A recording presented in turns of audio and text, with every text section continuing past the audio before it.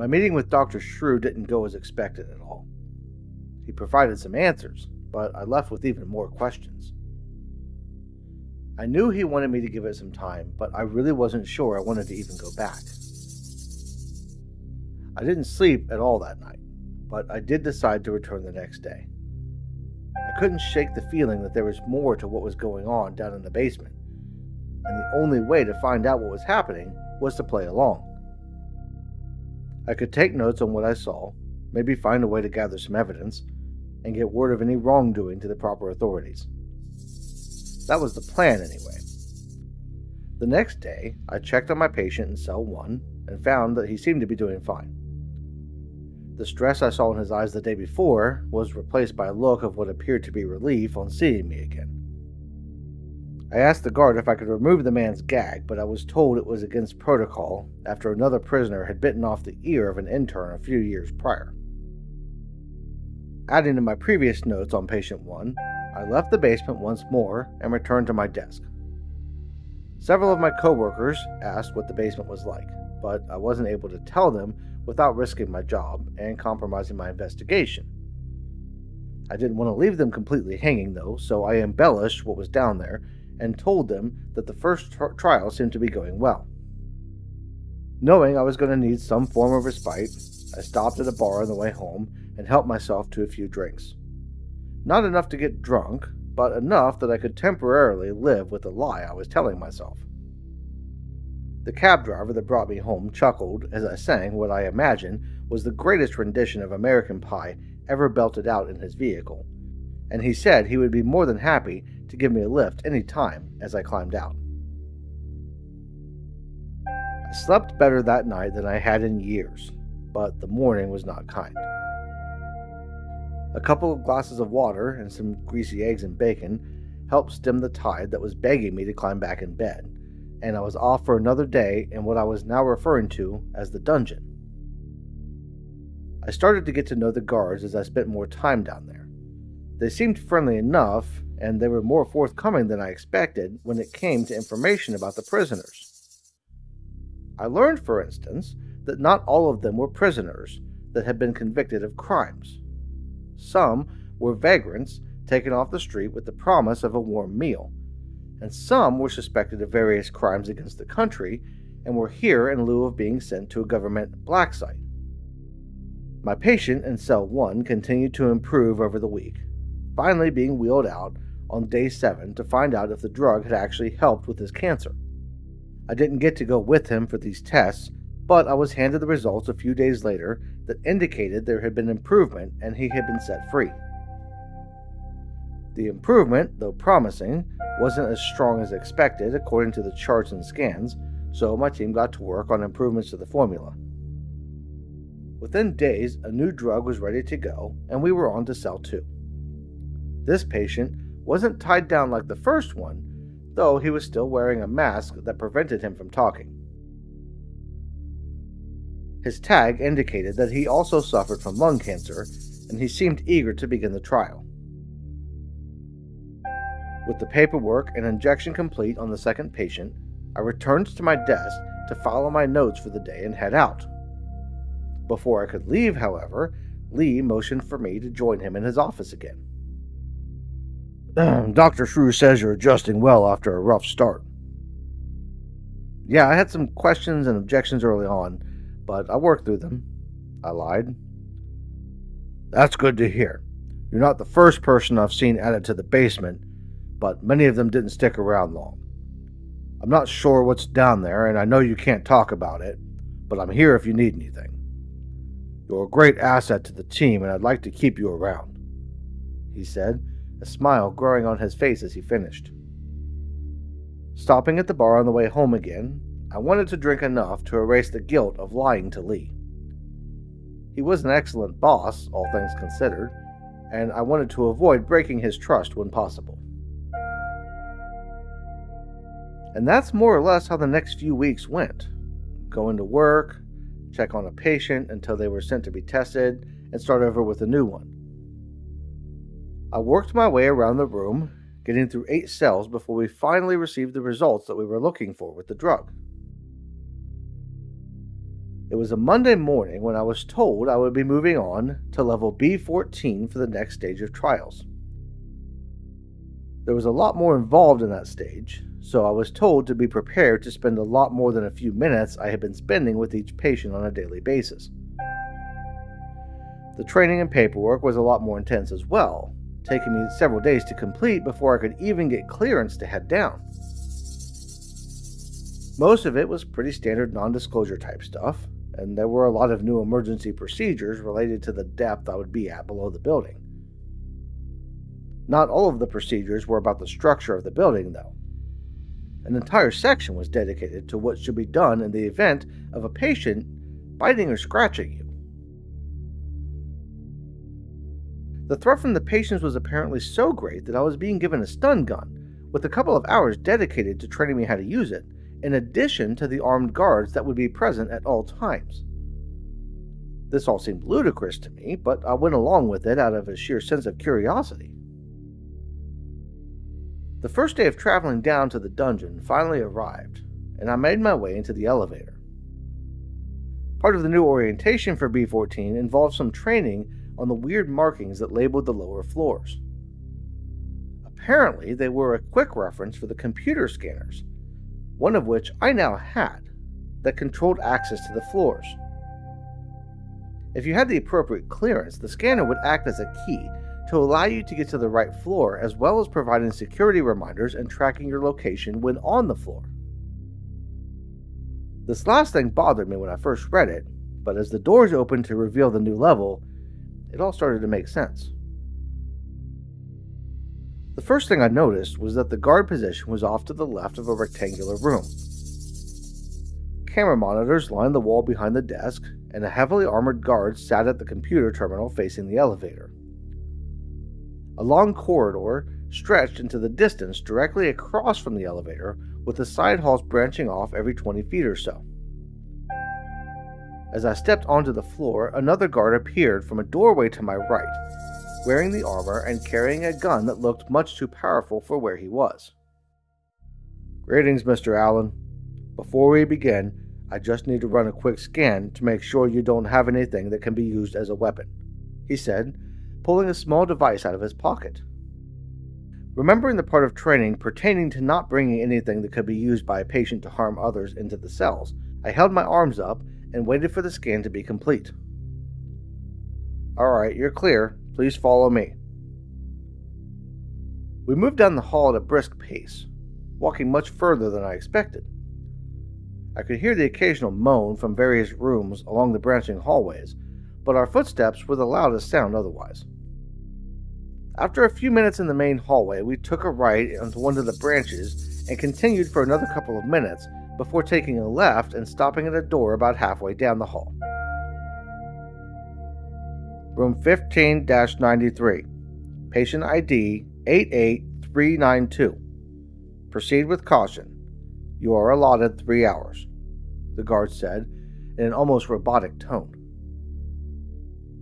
I knocked lightly and made my way into the room, unsure of what to expect but bracing for the worst. There was no way I could have prepared for what I found. The room was decorated like a nursery, with pastel colors and bright lights. There was a crib against the wall to my right, and a soft looking blanket and several stuffed animals strewn about its interior. The floor was carpeted, covered in a mess of green shag. A TV recessed into the wall behind thick glass was playing a kids' show, with the volume turned all the way down and the captions flashing as the character spoke. It took me a minute or so to notice the figure sitting in a chair in the corner of the room. As I found my bearings, I realized the figure was a woman who was strapped into a rocking chair. Her arms are latched, though free enough that she had a small range of motion available which she was taking advantage of to hold what I thought at first was a baby. As I moved closer, however, I realized it was just a doll. My mind was racing at that point, and my stomach made an effort to make me leave. The half smile on the woman's face as she stared blankly at the television didn't help me feel any better, but I knew I needed to stick with it. I was told in training to avoid contact with patients on this level and to never speak while in the rooms. I wondered how it was going to be possible to do my job without talking or being able to get close to the patients, but it turned out that worry wasn't necessary. An IV was already in the patient's arm, with the injection port safely off to the side and several feet away. Monitors for heart rate and blood pressure was set up and keeping track of the vital signs, so all I really had to do was write down the information that was displayed on the readout and inject the drug. Once that was complete, I settled into a chair across the room to spend the next couple of hours monitoring the patient and recording their vitals every 15 minutes. I nearly dozed off more than once as I waited for the minutes to pass, but the time to leave finally came, and I hurried back into the hallway to find the guard still waiting next to the door. After walking back to the guard desk in silence, I thanked the guards and told them I would be back the next day and asked them to call me if anything happened before then. I spent the rest of the day at my desk filling out the mandatory report to detail everything I did while in the basement and avoiding talking to my coworkers who were full of questions. As soon as I was finished with the paperwork, I slipped out the door and returned to what had become my nightly routine. Cab ride to the bar, drinks, stumble out to another cab, home, bed. My imagination was running away with what I saw that first day. Who was that woman? Why was she there? The file had indicated she had terminal lung cancer and not much time, but how many more like her were on that floor?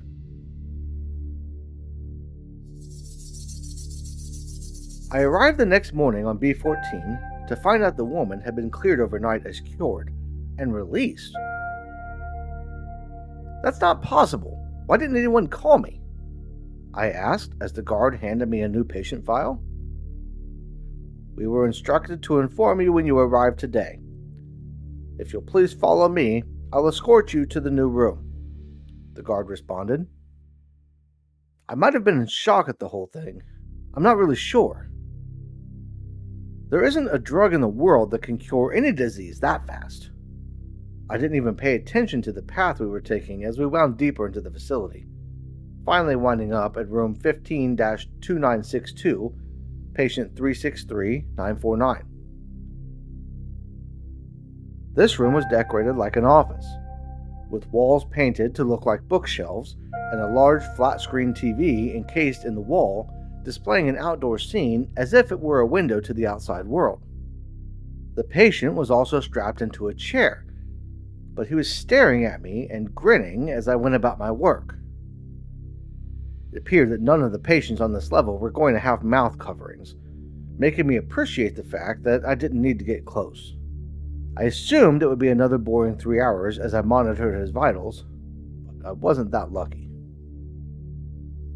Hey there, Doc, he said, speaking for the first time after just the 15 minute mark. I kept my eyes on the paperwork, desperate to pretend I wasn't there. No, no, no, don't speak. I was just curious about when I might get out of here. They promised me I would be leaving soon, and I'm just dying to get out, he said, emphasizing the word dying as his smile somehow widened. He didn't speak again over the remaining couple of hours, but my nerves were ready to crack when the time ended.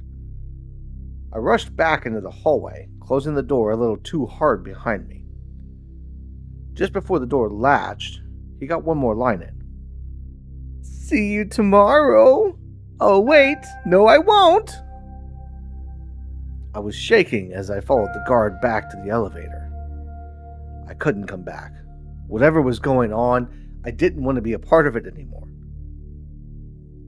As soon as I got back upstairs, I went to see Dr. Shrew. I'm sorry, I can't do this anymore, I said as I sat down across from him. Well, you aren't the first to get cold feet. Did something happen?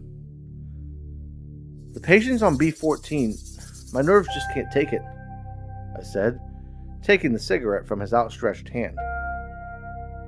That floor can be a hard one for sure, but you've helped so many people already.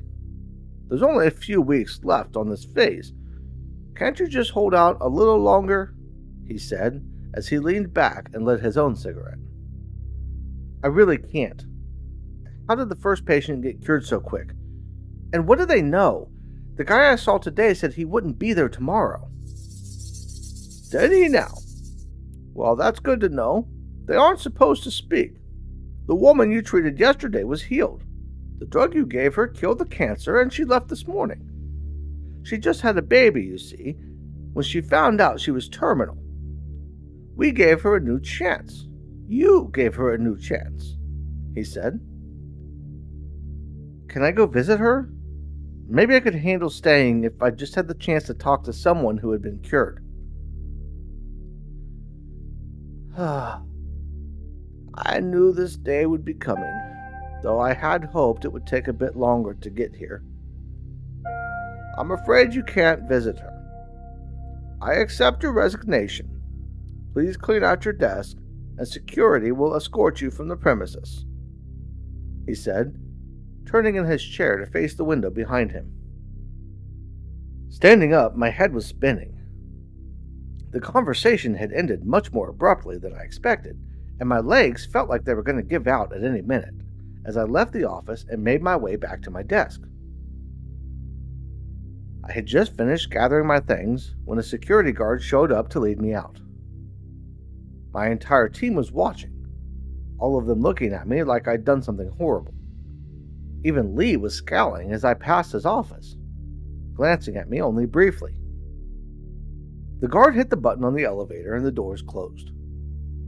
As we started to move down, I glanced over at the panel and noticed that the button for the ground floor wasn't lit as it should have been.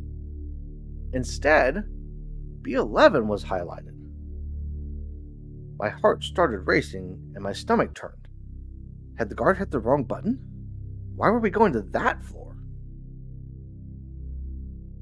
I didn't have a lot of time to plan, but as the elevator came to a stop, I knew what I needed to do. As the doors opened, I scanned the floor in front of me as quick as I could and bolted from the car without a word, moving toward a hallway on my left. I could hear the guard yelling, but he didn't give chase. The hallways seemed never ending. Some were well lit, and others were dark and foreboding.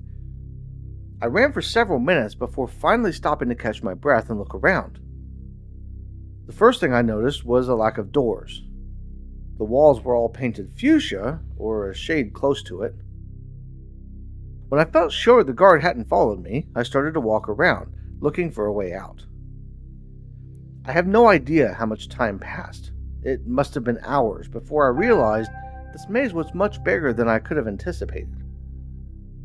I ran into so many dead ends that I lost track of them.